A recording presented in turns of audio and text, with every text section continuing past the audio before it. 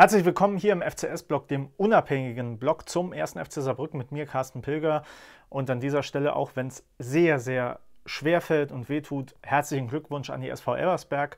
Das war ein sehr verdienter Sieg im Ludwigspark, im ersten Spiel im Ludwigspark, äh, in dem dieser fast vollständig ausgelastet sind. Es wurden ja 300 Karten noch zurückgegeben von Elversberg, die nicht verkauft werden konnten an die Fans vor Ort.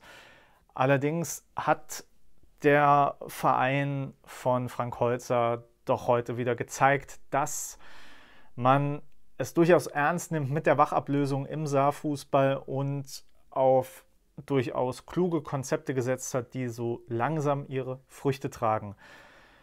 Umso schwärzer der Tag für den ersten FC Saarbrücken, aber beginnen wir einfach damit, wie die Mannschaft es versucht hat. Wir bleiben bei dem taktischen Grundkonzept, was wir schon seit einigen Wochen kennen, mit einer Dreierabwehrkette, in der es eine leichte Umstellung gibt, denn Bjarne Tölke ist zurück und der war ja vor allem im Hinspiel ein Erfolgsfaktor, ähm, was allerdings dazu führt, dass diese Kette relativ schnell gesprengt wird, ist eine frühe Verletzung im Spiel von Bonet Uafero und ihr wisst es, äh, Bonet super sympathischer Spieler und ich finde auch häufig leider unterschätzt.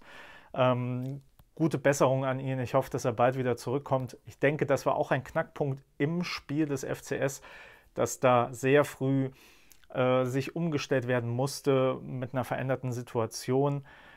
Insgesamt haben wir halt die wie äh, schon im Vorbericht besprochenen Elversberger vor uns, die auf ein asymmetrisches System setzen mit Robin Fellhauer, der immer weit nach vorne geht, da vorne wirbelt und der erste FC Saarbrücken versucht ihm so ein bisschen die eigene, eigenen großen Spieler entgegenzusetzen mit äh, Kuni und Grimaldi und vor allem Grimaldi immer wieder zu suchen, der die Balle, Bälle klug verteilen soll an die Mitspieler. Ich hatte so ein bisschen das Gefühl, auch wenn in den ersten, sag ich mal, 30 Minuten die Spielanteile noch äh, relativ ausgeglichen waren, da kamen von beiden Mannschaften nicht so ganz die zwingenden Chancen, wenn auch beim ersten FC Saarbrücken noch ein bisschen besser gegengehalten wurde. Ähm, Im wahrsten Sinne des Wortes haben wir in der ersten Halbzeit eine Holzer-Truppe erwischt. Holzer, weil die Elversberger, glaube ich, in den Zweikämpfen durchaus körperlicher reingingen, durchaus auch mal früher unfair den FCS gestoppt haben.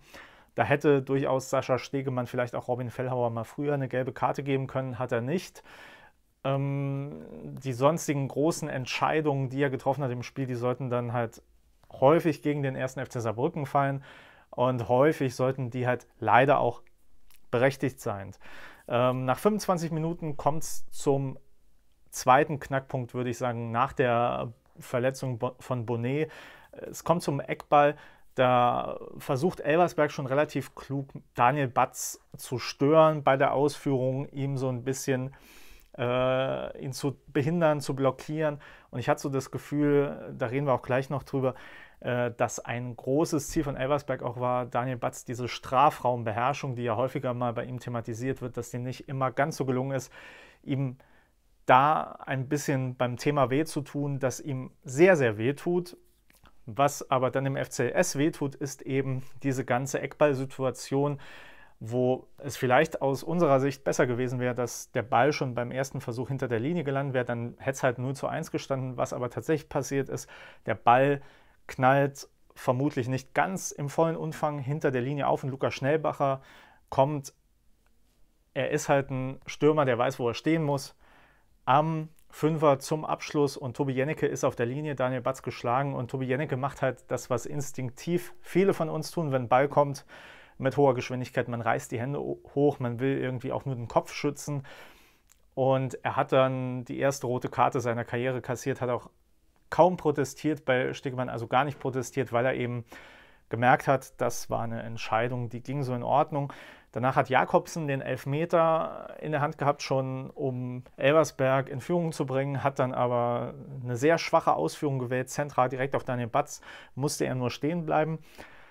Aber in der Folge ist halt das passiert, was man erwarten kann. Elversberg hat ein Spiel, das ist darauf ausgelegt, den Platz wirklich in der kompletten Breite zu nutzen, den Ball auch mal auf Außen zirkulieren zu lassen, aber dann wirklich die Abnehmer zu finden, die genug Platz haben, wo die Lücke da ist.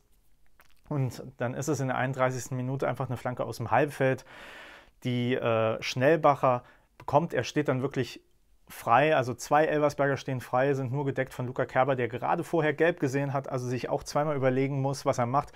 Lukas Böder und Bjarne Tölke räumen sich in der Mitte gegenseitig ab, die können auch nicht mehr eingreifen. Dann läuft halt Schnellbacher einfach mit dem Ball durch, legt den im Netz vorbei. Daniel Batz auch so ein bisschen verlassen von seinen Vorderleuten und ähm, in der Folge versucht der FCS, der dann halt in Unterzahl ist, Entlastungsangriffe zu fahren. Aber Elversberg macht halt die Räume dann auch hinten schnell dicht und man kommt nicht gut durch und auch äh, Richie Neudecker, der zur Halbzeit ja rausgehen wird, komplett aus dem Spiel genommen. Da ist eben nicht mehr viel zu holen. Auch das zweite Tor von Lukas Schnellbacher nach einer Flanke aus dem Halbfeld, wo er dann gefährlich frei steht am Fünfer, ähm, 2 zu 0 und kurz vor der Halbzeitpause in der Nachspielzeit ähm, fällt dann noch Calogero Rizzuto, Robin Fellhauer am Fünfer des FCS, trifft ihn halt und dann gibt es Elfmeter äh, und die Bremer Leihgabe wollte Made macht das 3 zu 0 und da ist der Tag eigentlich aus FCS-Sicht auch schon gelaufen. Zur Halbzeit fragen sich dann viele FC-Fans, ist das jetzt äh, schon so ein, eine Art Verhöhnung, dass man Lukas Schnellbacher rausnimmt? Wahrscheinlich ist er eher aufgrund einer Verletzung rausgegangen. Man merkt dann auch, dass Elversberg wirklich drei Gänge rausnimmt in der zweiten Halbzeit. Es passiert aber relativ wenig und auch beim FCS, der eben in dem Zeitraum schon angeschlagen wirkt, schon müde wirkt, unglaublich müde und auch nicht mehr bereit, sich aufzulehnen. Da kommen keine zwingenden Chancen. Äh, die erste große Chance ist dann in der 81. Minute auch wieder ein Elfmeter, klares Foul an Julius Biada und Julian Günther Schmidt tritt den auch eher schwach. Da hat der Elversberger Schlussmann Christoph auch keine Probleme, den zu halten. Und den ersten tatsächlichen Schuss aus dem Spiel heraus habe ich mir jetzt äh, aufgeschrieben für die zweite Halbzeit aus der äh, 90 plus 1 Minute von Biada nach einer Vorarbeit von Robin Scheu. Aber naja, wenn es dann eben schon so weit im Spiel ist, dann ist das auch nur für die Galerie und eine Minute später macht dann Elversberg mit einem relativ einfach gespielten Konter durch ähm, Kevin Coffey noch das 0 zu 4. Insgesamt ein sehr, sehr gebrauchter Tag für den ersten FC Saarbrücken. Ähm, aber es gilt natürlich das, was ich auch vor Spielbeginn gesagt habe im Vorbericht. Man sollte jetzt nicht so ein Spiel als eine Zäsur sehen oder sagen, jetzt ist der Aufstieg abgehakt, jetzt ist die Saison abgehakt. Es sind noch Spiele zu gehen. Aber die Frage ist nicht, will der erste FC Saarbrücken dieses Jahr aufsteigen? Die Frage ist nicht, will, will man irgendwie verhindern, dass Elversberg hochgeht oder hat man da jetzt Angst, dass es eine Wachablösung im Saarland gibt? Der erste FC Saarbrücken sollte auf sich selbst schauen und sollte sich fragen, warum gibt es immer wieder diese Spiele? Warum gibt es immer wieder diese Derbys? Ich sage jetzt bewusst Derby, weil auch wenn man den Begriff vermeiden will, weil da nicht die gewachsene Tradition von anderen Vereinen dahinter steckt.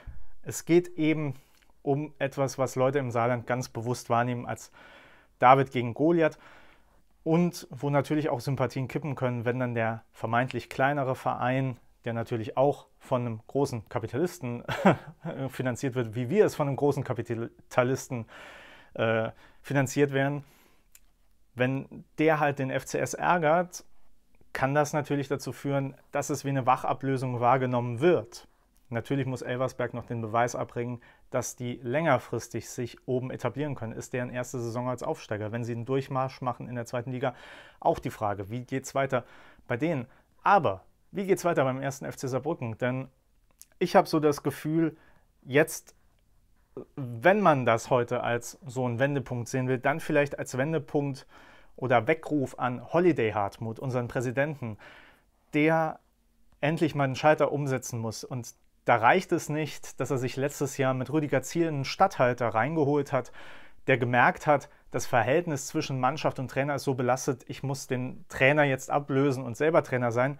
Ich frage mich, hat er jetzt überhaupt noch Zeit, als Stadthalter von Holiday Hartmut zu fungieren? Hat er Zeit, jetzt wirklich noch die entsprechenden Hebel zu setzen? Denn was der erste FC Saarbrücken braucht, und das hat man heute mal wieder gemerkt, ist eine Professionalisierung in allen Bereichen. Es ist eine Fra äh, Frage, will man künftig halt der Verein sein, der sich so eine halbe Saison lang mit dem Gedanken zufrieden gibt, wir wollen oben angreifen, aber am Ende dann doch so sagt, naja, jetzt haben wir dieses eine Spiel vergeigt, dann sind wir doch froh, dass wir mal wieder die Klasse gehalten haben, aber man reflektiert nicht. Will man jetzt eine größere Scouting-Abteilung oder will man nicht nach solchen Spielen, die immer wieder in die Hose gehen, mal in Sportpsychologie investieren? Jeder Bundesligist, jeder Zweitligist, der so eine Serie an Spielen, die irgendwie als so entscheidend wahrgenommen werden, verlieren würde, der hätte längst einen Sportpsychologen. Der würde sich längst Fragen stellen, warum wirkt das Spiel so müde? Warum haben Spieler, die offensichtlich einen anderen Trainer wollten, jetzt doch wieder eine Körpersprache, in der irgendwas nicht stimmt? Warum ist so jemand wie Julian Günther Schmidt, der eine Bank war, der von anderen Vereinen aus einer Liga höher gejagt wurde, warum tritt er so ein Elber? Das sind Fragen, die wirken zwar punktuell wie etwas, was man schnell so klären kann und sagen kann, naja, zwei, drei Wochen, da ist Gras drüber gewachsen, aber nee, das sind alles Anzeichen dafür, dass der erste FC Saarbrücken sich professioneller aufstellen muss in sehr, sehr vielen Bereichen und dass es nicht reicht, da vielleicht im Sommer einen Mike Franz zu holen oder einen Richie Neudecker und immer wieder auf große Namen zu verweisen oder den eigenen großen Namen. Da muss ein bisschen mehr geleistet werden. So viel dazu. Wie habt ihr das Spiel gesehen? Ich freue mich auf eure Kommentare und auch wenn sich das alles so hart anhört und hart anfühlt, der erste FC Saarbrücken, der wird auch nicht untergehen. In diesem Sinne, bis zum nächsten Mal.